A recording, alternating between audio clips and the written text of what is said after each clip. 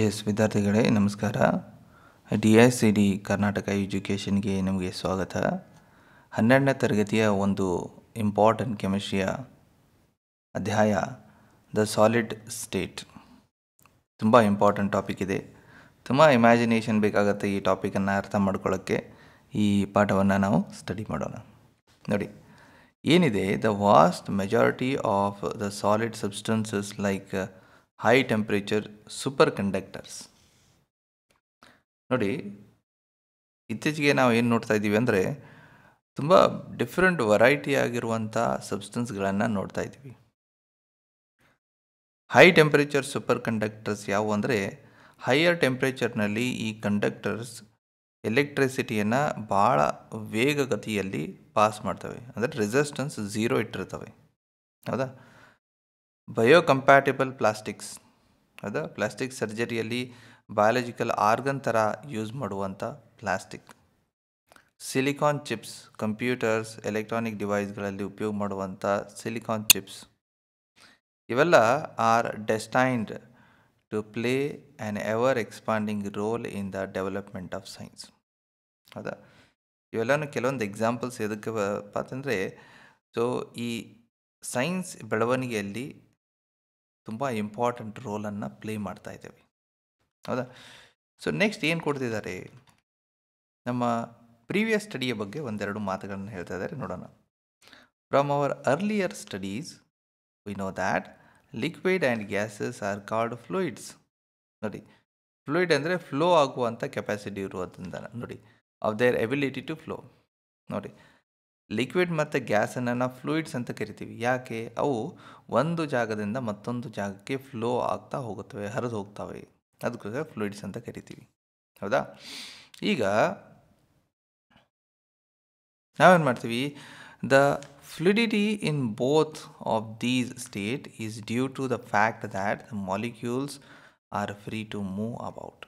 ಏನಿದ್ರ ಮಾತನಾಡ್ತಾ ಇವಾಗ ಗ್ಯಾಸ್ ಮತ್ತು ಲಿಕ್ವಿಡ್ಸ್ ಇವೆರಡೂ ಫ್ಲೋ ಆಗ್ತವೆ ಅಂತ ಹೇಳ್ತಾರೆ. ಬಟ್ ಯಾಕೆ ಫ್ಲೋ ಆಗ್ತಿದ್ದಾವೆ ಯಾಕಂದರೆ ಆ ಮಾಲಿಕ್ಯೂಲ್ಸ್ಗಳ ಮಧ್ಯ ಫೋರ್ಸ್ ಆಫ್ ಅಟ್ರಾಕ್ಷನ್ ಏನಿದೆಯಲ್ಲ, ಅದು ತುಂಬ ಕಡಿಮೆ ಇದೆ. ಹೌದಾ? The state is due to the fact the molecules are free to move. ಯಾಕೆ ಫ್ರೀ ಟು ಮೂವೇ? ಯಾಕಂದರೆ ಅದರ ಮಧ್ಯೆ ಫೋರ್ಸ್ ಆಫ್ ಅಟ್ರಾಕ್ಷನ್ ತುಂಬ ಕಡಿಮೆ ಇದೆ. ಅದೇ ಬೇರೆ ಕಡೆಗೆ ನೋಡಿ on contrary the constituent particles in solid have fixed position ಒಂದು ಫಿಕ್ಸ್ ಪೊಸಿಷನ್ ಇರುತ್ತೆ. ಚೇಂಜ್ ಆಗೋದೇ ಇಲ್ಲ. ಯಾಕೆ ಚೇಂಜ್ ಆಗೋದಿಲ್ಲ? ಯಾಕಂದರೆ ಅವುಗಳಲ್ಲಿ ಫೋರ್ಸ್ ಆಫ್ ಅಟ್ರಾಕ್ಷನ್ ಜಾಸ್ತಿ ಇರುತ್ತೆ. And can oscillate about their mean positions ನೋಡಿ ಆಸಿಲೇಟ್ ಆಗ್ಬೋದು. ಅದರ ಮೇನ್ ಪೊಸಿಷನ್ ಏನಿರುತ್ತೆ? ಪಾರ್ಟಿಕಲ್ಸ್ ಅಲ್ಲೇ ಸ್ವಲ್ಪ ಅಲ್ಲಾಡದಿರುತ್ತೆ. ಮೂಮೆಂಟ್ ಆಗುತ್ತೆ. ಬಟ್ ಅಲ್ಲಿಂದ ಪೂರ್ತಿ ದೂರ ಹೋಗೋದಲ್ಲ ಗ್ಯಾಸ್ ಮತ್ತು ಸಾಲಿಡ್ಸ್ ಲಿಕ್ವಿಡ್ಸ್ನೆಲ್ಲ ಆಗಿ this explain the rigidity of the solids ನೋಡಿ ಸಾಲಿಡ್ಸ್ ಯಾಕೆ ರಿಜಿಡಿಟಿ ಇದೆ? ಯಾಕೆಂದರೆ ಪಾರ್ಟಿಕಲ್ಸ್ ಮೂವ್ ಆಗಲ್ಲ. ಪಾರ್ಟಿಕಲ್ಸ್ ಫಿಕ್ಸ್ ಇರ್ತವೆ ಅವುಗಳ ಪೊಸಿಷನಲ್ಲಿ these property depend upon the nature of the constituent particles and the binding force operating between them ಹೌದು ಕರೆಕ್ಟ್ ನೋಡಿ, ಏನಿದೆ? ಇವಾಗ ಈ ಒಂದು ಸಾಲಿಡನ್ನು ಕೊಟ್ಟಾಗ ಆ ಸಾಲಿಡ್ನಲ್ಲಿ ಬೇರೆ ಬೇರೆ ಪಾರ್ಟಿಕಲ್ಸ್ ಇರ್ಬೋದು. ಪಾರ್ಟಿಕಲ್ಸ್ನ ಹೆಂಗೆ ಕೆಟಗರೈಸ್ ಮಾಡ್ತೀವಿ ನೀವು?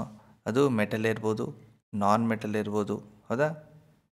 ಈ ಮೆಟಲ್, ನಾನ್ ಮೆಟಲ್ ಅಥವಾ ಮೆಟಲ್ ಮೆಟಲ್ ಅಥವಾ non metal non metal bonding force ಬೇರೆ ಬೇರೆ ಇರುತ್ತೆ. ಮೆಟಾಲಿಕ್ ಫೋರ್ಸ್ ಇರುತ್ತೆ ಕೋಲೆಂಡ್ ಫೋರ್ಸ್ ಇರುತ್ತೆ ಅಯೋನಿಕ್ ಫೋರ್ಸ್ ಇರುತ್ತೆ. ಹಾಗೆ, ಆ ನೇಚರ್ ಆಫ್ ಕನ್ಸ್ಟಿಟ್ಯೂಯೆಂಟ್ ಅದು ಮೆಟಲ್ ಇದೇನೋ ನಾನ್ ಮೆಟಲ್ ಇದೇನೋ ಅದರಲ್ಲಿ binding force covalent ionic coordinate hydrogen ಅಥವಾ ವಂಡರ್ವಾಲ್ ಫೋರ್ಸ್ ಇದೇನೋ, ಅವುಗಳ ಮೇಲೆ ಡಿಪೆಂಡೆಂಟ್ ಇರುತ್ತೆ. The correlation between the structure and the properties help in the discovery of new solid materials ಈಗ ನಾವೇನು ಮಾಡ್ತೀವಿ ಅಂದರೆ ಅವುಗಳ ಸ್ಟ್ರಕ್ಚರ್ ಮತ್ತು ಅವುಗಳ ಪ್ರಾಪರ್ಟಿಯನ್ನು ಒಂದು ರೀತಿ ಸ್ಟಡಿ ಮಾಡ್ತಾ ಹೋದರೆ ಸ್ಟ್ರಕ್ಚರ್ ಹೀಗಿದೆ ಅದರ ಪ್ರಾಪರ್ಟಿ ಏನು ಬರ್ತಾ ಇದೆ? ಅದನ್ನು ಸ್ಟಡಿ ಮಾಡ್ಕೊತಾ ಹೋದರೆ ನಮಗೆ ಸಾಲಿಡ್ ಮಟೀರಿಯಲ್ಲಿ ಹೊಸ ಮಟೀರಿಯಲ್ಗಳನ್ನು ಡಿಸ್ಕವರಿ ಮಾಡೋದಕ್ಕೆ ಹೆಲ್ಪ್ ಆಗುತ್ತೆ. ಅದು ಯಾವುದಪ್ಪ ನಮಗೆ ಯಾವ ಪ್ರಾಪರ್ಟಿ ಬೇಕಲ್ಲ ಆ ಪ್ರಾಪರ್ಟಿಗೆ ತಕ್ಕಂತೆ ನಾವು ಸ್ಟ್ರಕ್ಚರ್ಗಳನ್ನು ಬೆಳೆಯಬೋ ಬೆಳೆಸ್ಬೋದು ಅಥವಾ ಕ್ರಿಯೇಟ್ ಮಾಡ್ಬೋದು. ಫಾರ್ ಎಕ್ಸಾಂಪಲ್ ನೋಡಿ ಕಾರ್ಬನ್ ನ್ಯಾನೋ ಟ್ಯೂಬ್ಸನ್ನು ಪ್ರಿಪೇರ್ ಮಾಡ್ತೀವಿ. ಹೌದಾ? Are a new materials that have a potential to provide a material that have tough than steel ನೋಡಿ ಕಾರ್ಬನ್ ನ್ಯಾನೋ ಟ್ಯೂಬ್ಗಳು ಸ್ಟೀಲ್ಗಿಂತನೂ ಗಟ್ಟಿಯಾಗಿರುತ್ತೆ. ಯಾಕೆ? ಯಾಕಂದರೆ ಒಂದು ಅವುಗಳ ಕಾರ್ಬನ್ನ ಅರೇಂಜ್ಮೆಂಟ್ ಹೇಗೆ ಅವು ಅರೇಂಜ್ ಆಗಿರ್ತವೆ? ಅದರ ಮೇಲೆ ಆ ಕಾರ್ಬನ್ ಟ್ಯೂಬ್ಗಳಿಂದ ಏನಾಗುತ್ತೆ? ನಾವು ಸ್ಟೀಲ್ಗಿಂತನೂ ಗಟ್ಟಿಯಾಗಿರುವಂಥ ವಸ್ತುವನ್ನು ಮತ್ತು ಹಗರವಾಗಿರುವಂಥ ವಸ್ತುಗಳನ್ನು ನಿರ್ಮಾಣ ಮಾಡ್ಬೋದು. ಲೈಟರ್ ದೆನ್ ಅಲ್ಯೂಮಿನಿಯಂ ಅಂತ ಹೇಳ್ತೀವಿ ಅಲ್ಯೂಮಿನಿಯಂ ಲೈಟ್ ಇರೋದರಿಂದನೇ ತುಂಬ ಜಾಸ್ತಿ ಬಳಕೆ ಇತ್ತು, ಬಟ್ ಕಾರ್ಬನ್ ನ್ಯಾನೋ ಟ್ಯೂಬ್ ಏನಿತ್ತು ಅದು ಲೈಟರ್ ಇದೆ ಅಲ್ಯೂಮಿನಿಯಂಗಿಂತ. ಅದೇ ಅಲ್ಯೂಮಿನಿಯಂ ತುಂಬ ಸಾಫ್ಟ್ ಇರುತ್ತೆ. ಅದೇ ಸ್ಟೀಲ್ ನೋಡಿದರೆ ತುಂಬ ಟಫ್ ಇರುತ್ತೆ. ಅದೇ ಕಾರ್ಬನ್ ಟ್ಯೂಬ್ ಈ ಸ್ಟೀಲ್ ಮತ್ತು ಅಲ್ಯೂಮಿನಿಯಂನ ಎರಡು ಗುಣಗಳನ್ನು ಹೊಂದಿದೆ. ಹೌದಾ? Have more conductivity property than the copper. ನೋಡಿ, ಕಾರ್ಬನ್ ನ್ಯಾನೋ ಟ್ಯೂಬ್ ಏನಿದೆ ಕಂಡಕ್ಟಿವಿಟಿ ಜಾಸ್ತಿ ಇದೆ. ಕರೆಂಟನ್ನು ಜಾಸ್ತಿ ಫಾಸ್ಟ್ ಮಾಡಿಕೊಡುತ್ತೆ ರೆಸಿಸ್ಟೆನ್ಸ್ ಕಡಿಮೆ ಇದೆ. So such materials may play an expanding role in the develop future development ಹೌದಾ ಸೈನ್ಸ್ ಆ್ಯಂಡ್ ಸೊಸೈಟಿ ಆಬ್ವಿಯಸ್ಲಿ ಇಂಥ ಒಂದು ಇಂಪಾರ್ಟೆಂಟ್ ಪ್ರಾಡಕ್ಟ್ ಇದ್ದರೆ ಅದು ಸ್ಟೀಲ್ ಮತ್ತು ಅಲ್ಯೂಮಿನಿಯಂ ಕಾಪರನ್ನು ಬದಲಾಯಿಸ್ಬೋದು. ಅದ್ರ ಬದಲಿ ನಾವು ಕಾರ್ಬನ್ ನ್ಯಾನೋ ಟ್ಯೂಬ್ಗಳನ್ನು ಬಳಕೆ ಮಾಡ್ಬೋದು. Some other materials which are expected to play an important role in future are high temperature super conductors ನೋಡಿ ಹೈ ಟೆಂಪ್ರೇಚರ್ ಸೂಪರ್ ಕಂಡಕ್ಟರ್ಸನ್ನು ನಾವು ಏನು ಮಾಡ್ಬೋದು? ನಾವು ಒಂಥರ ಏನಪ್ಪ ಅಂತಂದರೆ ಎಲೆಕ್ಟ್ರಿಸಿನ ಒಂದು ಸ್ಥಳದಿಂದ ಮತ್ತೊಂದು ಸ್ಥಳಕ್ಕೆ ಕಳಿಸುವಾಗ ಅದರದ ಲಾಸನ್ನು ಗೇನ್ ಮಾಡ್ಕೋಬೋದು ಲಾಸನ್ನು ತಡಿಬೋದು ಮ್ಯಾಗ್ನೆಟಿಕ್ ಮಟೀರಿಯಲ್ಸನ್ನು ನೋಡ್ಬೋದು ಬಯೋ ಡಿಗ್ರೇಡೇಬಲ್ ಪಾಲಿಮರ್ಸ್ ಈಗ ನೋಡಿ, ಕೆಲವೊಂದು ಸಾರಿ ಏನಾಗುತ್ತೆ ಪ್ಲಾಸ್ಟಿಕನ್ನು ನೀವು ಮನೆಗೆ ತೊಗೊಂಬರ್ತೀರಿ, ಅದನ್ನು ಹಾಗೆ ಹೋಗೋದು ಬಿಡ್ತೀರಿ. ಅವಾಗ ಏನಾಗುತ್ತೆ, ಅದು ಹಾಗೆ ನೇಚರ್ನಲ್ಲಿ ಉಳ್ಕೊಂಡ್ಬಿಡುತ್ತೆ ಸಾವಿರಾರು ವರ್ಷಗಳವರೆಗೆ. ಸೊ ಅದು ಡಿಗ್ರೇಡೇಬಲ್ ಆಗಲ್ಲ. ಅದಕ್ಕೆ ಬಯೋಡಿಗ್ರೇಡೇಬಲ್ ಪಾಲಿಮರ್ಸ್ಗಳನ್ನು ಬಳಕೆ ಮಾಡೋದರಿಂದ ಪ ಎನ್ವಿರಾನ್ಮೆಂಟ್ ಹಾರ್ಮ್ ಆಗೋದನ್ನು ತಡೆಯುತ್ತೆ.